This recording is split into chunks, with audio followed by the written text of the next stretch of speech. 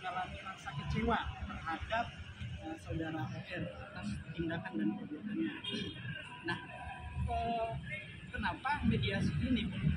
Kami belum tahu ya apa yang menjadi eh, keinginan. Tapi pada intinya kami menginginkan mata klien kami kembali eh, sembuh seperti semula.